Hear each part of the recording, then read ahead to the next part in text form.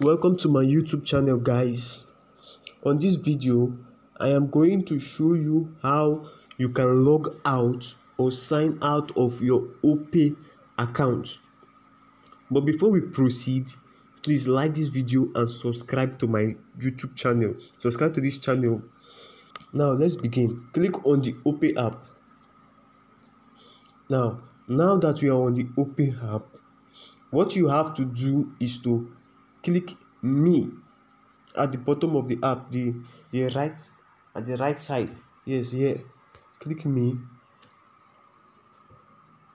After clicking me the next thing you have to do is to click the setting button. The setting is located at the right top of the app. So you just have to click setting. Yes i've clicked it.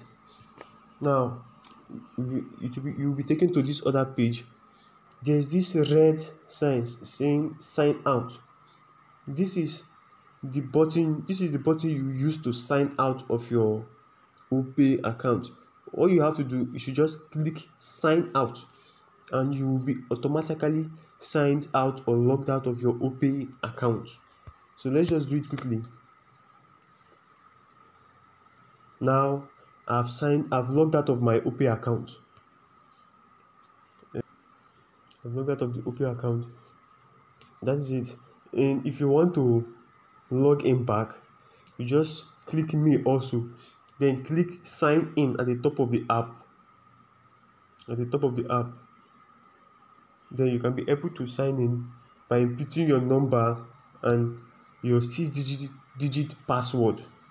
So guys that is the end of this video. Please do not forget to like this video and subscribe to this channel. Thank you